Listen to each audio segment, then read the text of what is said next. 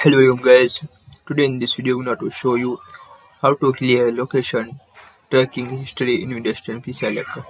So guys if you want to clear location tracking history in Windows 10 PC laptop, so here is the first on start, type your settings, click on settings,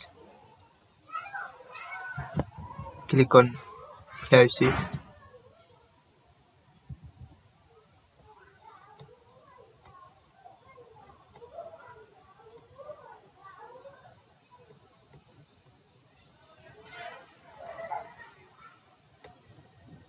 here option location. So click it. Here option clear location history on this device. So click it. So guys just you need to clear history.